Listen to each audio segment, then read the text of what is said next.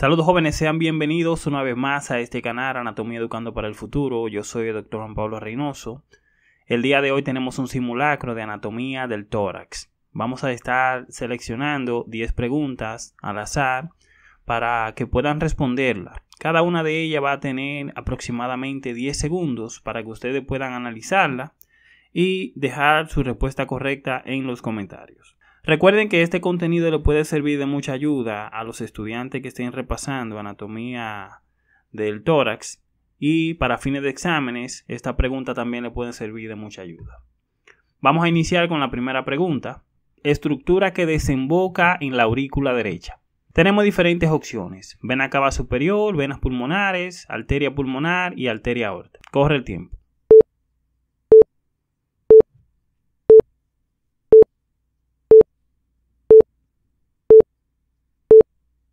Recordar que descartar cada una de esas opciones es muy importante. Por ejemplo, tenemos venas pulmonares, arteria pulmonar, arteria aorta y vena cava superior. Recuerden que en la aurícula derecha solamente terminan venas. En este caso, ustedes van a descartar las dos posibles opciones serían venas pulmonares y vena cava superior. Ya las arterias que se originan en los ventrículos y por default ustedes descartan estas dos opciones.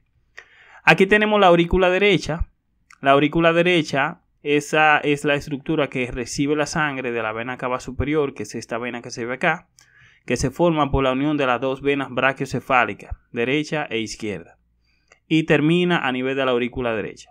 Esta sería la respuesta correcta. Opción A. Nítido. Pasamos a la segunda pregunta. ¿Dónde se origina la arteria pulmonar? Tienen 10 segundos. Corre tiempo.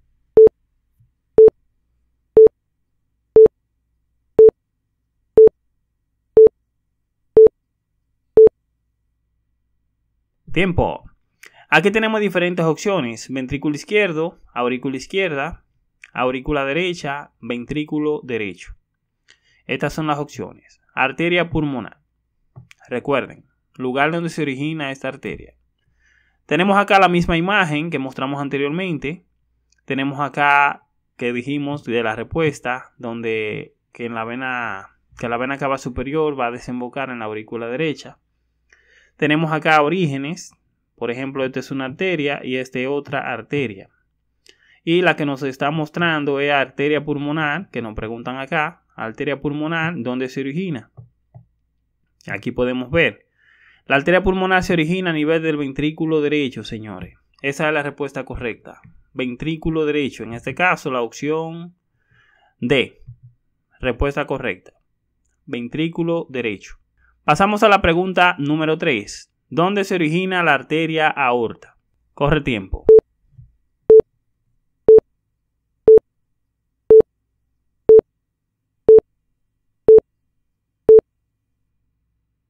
Tiempo. Nos dice aquí opción A, ventrículo izquierdo, opción B, aurícula izquierda, opción C, aurícula derecha, opción D, ventrículo derecho. La respuesta correcta es, señores, Aquí tenemos la arteria aorta, esa es la estructura que se está preguntando, y esa arteria se va a originar a nivel del ventrículo izquierdo. La opción A es la respuesta correcta en este caso. Ventrículo izquierdo. Pasamos a la pregunta número 4. ¿Dónde desembocan las venas pulmonares? Cuando hablamos de desembocadura, hablamos de dónde terminan, en este caso. Corre el tiempo.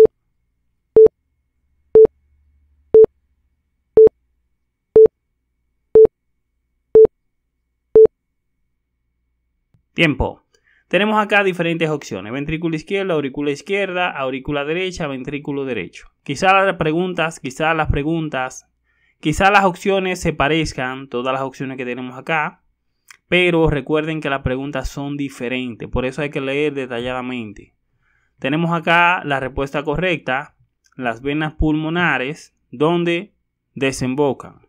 Y aquí tenemos las venas pulmonares.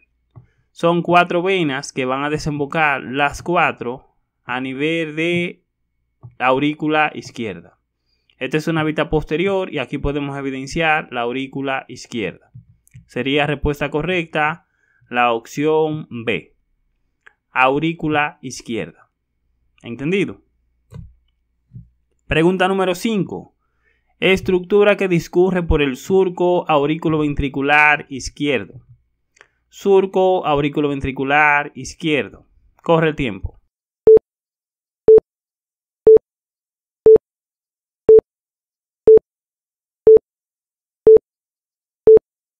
Aquí tenemos diferentes opciones. Arteria coronaria derecha, seno coronario, arteria descendente anterior y arteria descendente posterior.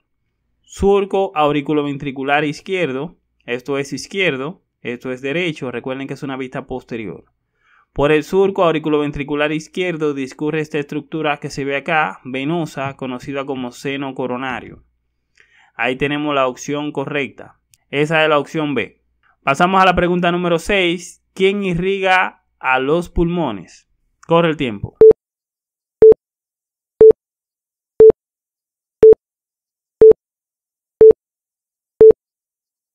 Tenemos acá diferentes opciones.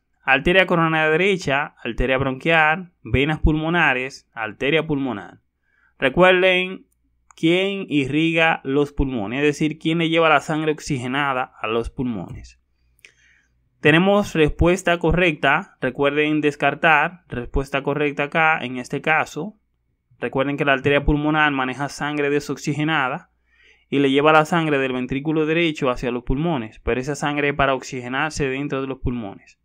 Mientras que las venas pulmonares sacan la sangre de los pulmones, manejan sangre oxigenada, pero la llevan hacia la aurícula izquierda, que ya vimos anteriormente. La respuesta correcta en este caso es arteria bronquial. Las arterias bronquiales son las que irrigan a los pulmones. Son ramas colaterales de la aorta. En este caso aquí podemos verla. Esas arterias que se ven ahí, acompañando bronquios, son las arterias bronquiales.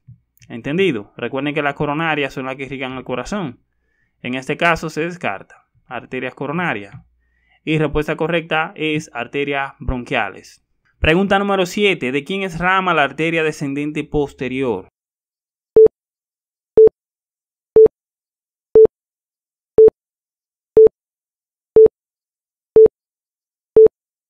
Tenemos diferentes opciones. Arteria coronaria derecha, arteria aorta ascendente, arteria coronaria izquierda, arteria marginal. ¿De quién es rama? Es decir, ¿de quién nace la arteria descendente posterior? Esa arteria descendente posterior, señores, aquí tenemos que la opción correcta es arteria coronaria derecha. Aquí podemos evidenciar. Recuerden que esto es derecho, esto es izquierdo y esto es posterior. Aquí podemos evidenciar la arteria coronaria derecha, dando origen a la arteria descendente posterior, que es esta que se ve aquí, conocida también como arteria interventricular posterior. Esa arteria que vemos aquí, descendente posterior, en un 25% a 30% puede originarse de la arteria circunfleja, que viene siendo esa arteria que se ve aquí, que va a bordear al surco auriculoventricular izquierdo, acompañando al seno coronario, y puede dar origen a la arteria descendente posterior. Pero eso lo hace en un 25% aproximadamente. Ya el otro 75% de los casos es de la arteria coronaria derecha, donde va a nacer la arteria descendente posterior. Ahí hablamos de predominancia derecha, cuando esta arteria descendente posterior nace de la arteria coronaria derecha. Pregunta número 8. ¿A qué nivel vertebral está el hiato de la vena cava inferior? Eso es a nivel del diafragma. Hiato de la vena cava inferior. Tenemos diferentes opciones y corre el tiempo.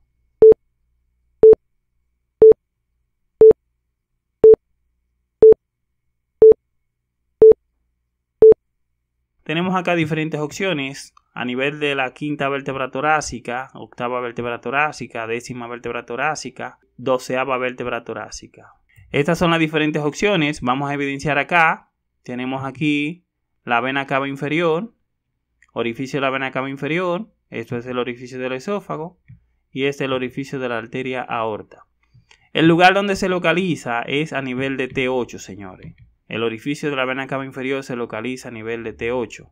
Esa es la respuesta correcta. Ya ustedes saben, opción B, vena cava inferior a nivel de T8.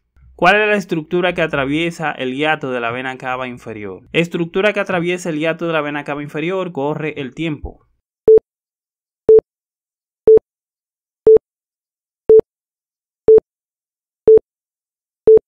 tenemos las opciones arteria aorta, opción A, conducto torácico, opción B, nervio vago derecho, opción C, nervio frénico derecho, opción D. Esto que tenemos acá es el orificio de la vena cava inferior, que ya vimos anteriormente. Esto es el del esófago. Esto acá es de la arteria aorta. Nos vamos directamente de la vena cava inferior. Aquí vemos que esta estructura vascular, que es la vena cava inferior, va a estar acompañada por una estructura nerviosa. Y de estas opciones, la única estructura nerviosa que la acompaña es el nervio frénico derecho. Es decir, la opción D es la respuesta correcta. Pasamos a la pregunta número 10. ¿Cuál estructura atraviesa el hiato esofágico?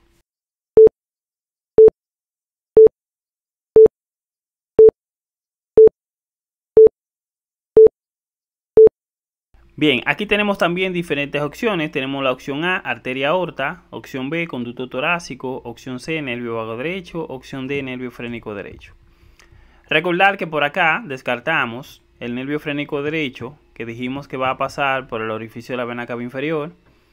Descartamos la arteria aorta, que ese elemento va a pasar por el orificio aórtico, vaya la redundancia.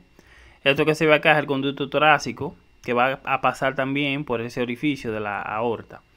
En este caso, la respuesta correcta sería esta, nervio vago derecho. También el vago izquierdo va a pasar acompañando al esófago. Recuerden esta estructura que se ve acá, que es el orificio esofágico, que se localiza a nivel de la vértebra T10.